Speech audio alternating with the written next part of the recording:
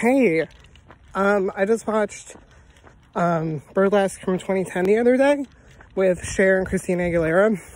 Um, it started off like, oh, it's cute, like, you know, she's like some some bitch that was like, oh yeah, like I'm gonna quit my job and go to the club and become a burlesque dancer.